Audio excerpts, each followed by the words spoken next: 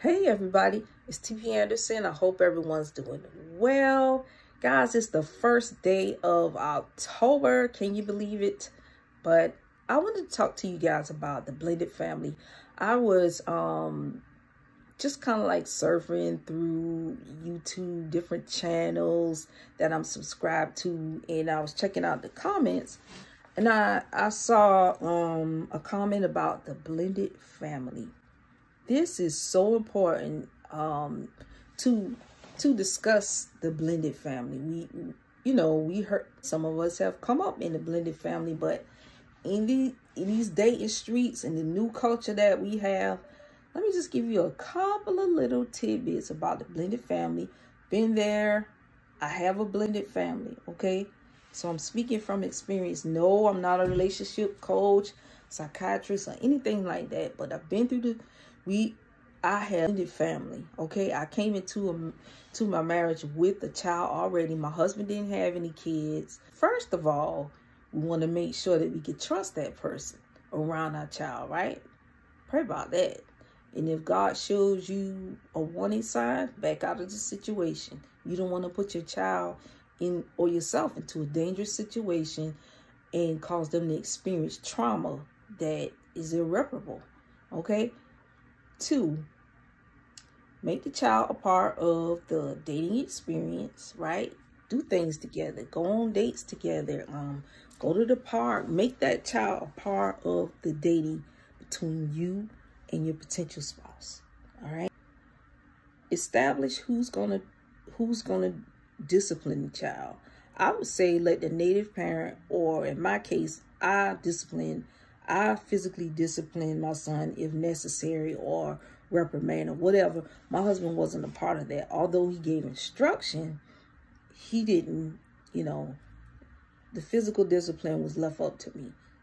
If you choose to, however you choose to discipline your child, let the native parent or the parent discipline the child. I think that's so important.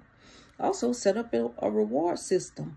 Um, it could words of affirmation make sure that that step parent is a part of that positive um that positive feedback okay? That'll help build trust between the stepchild and the step parent. Um and just be advised guys that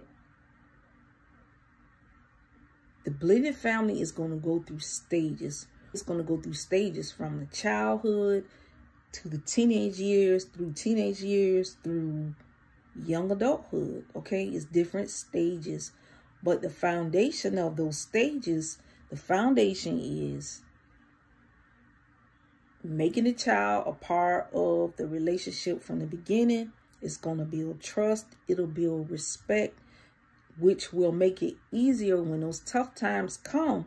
The step parent will, um, I don't want to say leverage, but they'll have say so um, in what happens to that child as well. Because remember, they're they're they're going to be um, contributing financially.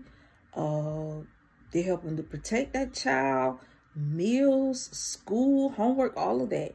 So it's important to set that foundation so that the step parent will have a part of the child rearing process. And you want to make it, you want it to be positive, right? You want that to be a positive experience. You get one shot to raise your child. And you don't want it to be a traumatic experience all because you guys didn't take the time to allow the child to bond and be a part of the dating experience because the child suffered traumatic events um, because you two adults didn't iron out things to make the family a blended family. Most importantly, guys, keep God in the middle. Pray about it. Pray about situations as they come up. And keep love and forgiveness. Um, just remember to, that, you know, remember to love each other and forgive and keep moving forward. Um, it can be successful in my marriage, it has been successful. Did we do everything right? Nope. And that's why I'm giving you guys tidbits. But we came out successfully, successfully as we learned. So this is just some little tidbits and I hope it helps somebody out there that um, if you're considering getting married, um, if you already have a child or if you're going into a situation, um, you your potential partner already has children. Y'all stay blessed.